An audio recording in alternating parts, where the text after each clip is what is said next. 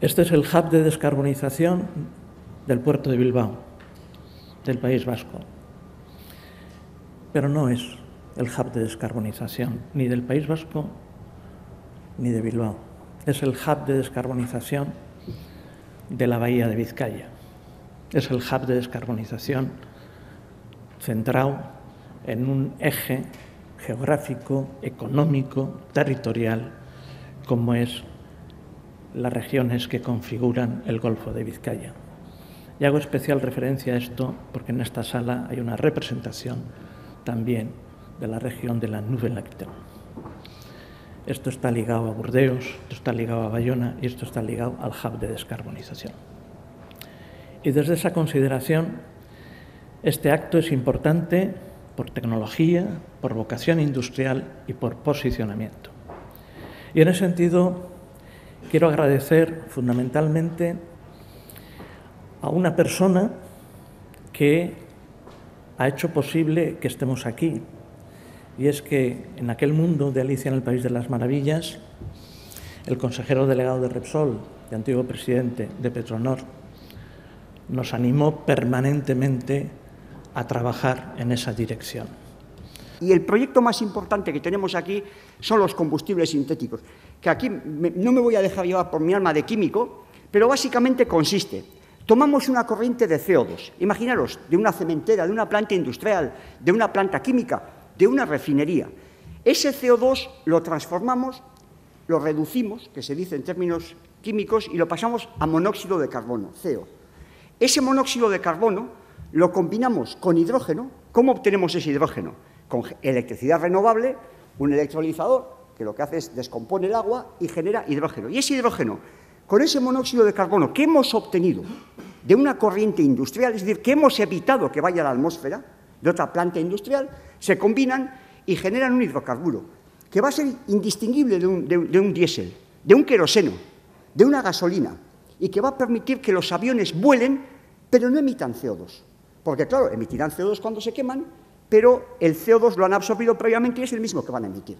Con lo cual, tenemos emisiones netas cero. Y esto es básicamente este proyecto y esta inversión. Una iniciativa pionera en el mundo en la cual estamos además orgullosos de tener socios como Enagas, como Lente Vasco Energía y como Aramco, que son los que hacen con nosotros esta apuesta tecnológica. Y básicamente yo creo que este proyecto y esta descarbonización de líquidos nos ayuda en varias cosas.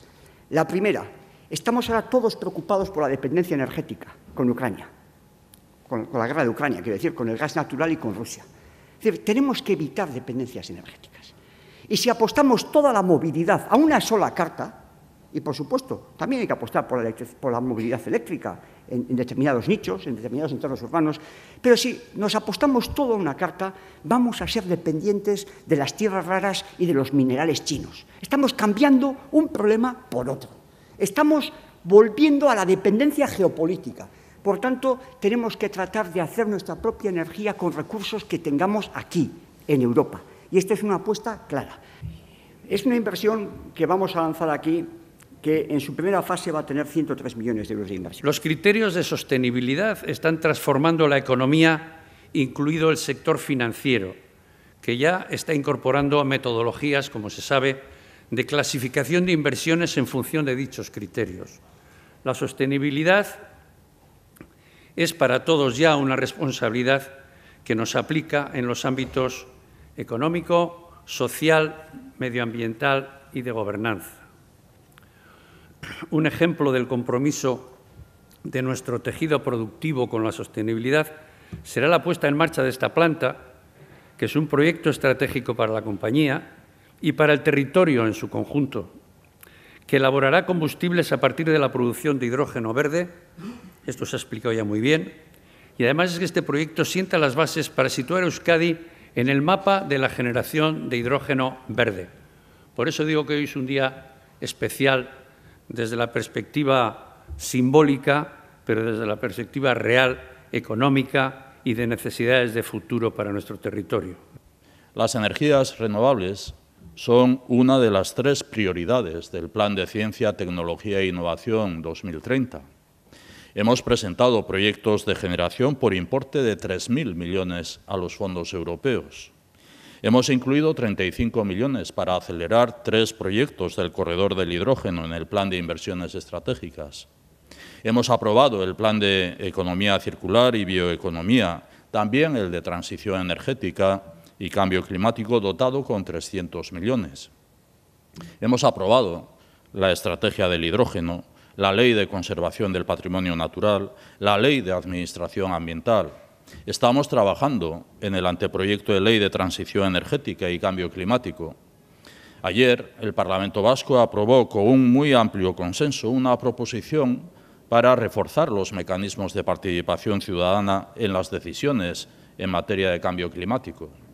Contamos con iniciativas innovadoras, Basque Nest Net Zero Industrial Supercluster y el Corredor Vasco del Hidrógeno, una iniciativa fruto de la colaboración público-privada en la que participan 120 organizaciones entre empresas, centros tecnológicos y entidades locales.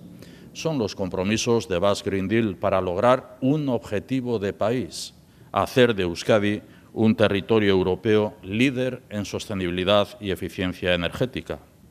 Tenemos un camino recorrido y tenemos un reto.